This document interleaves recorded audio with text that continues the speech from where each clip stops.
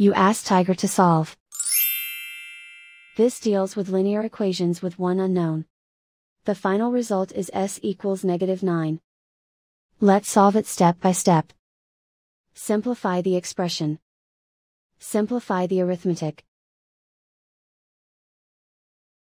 Group all constants on the right side of the equation. Subtract 6 from both sides.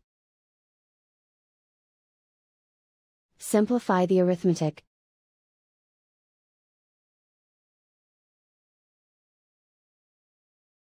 Isolate the s. Divide both sides by 3.1. Simplify the arithmetic.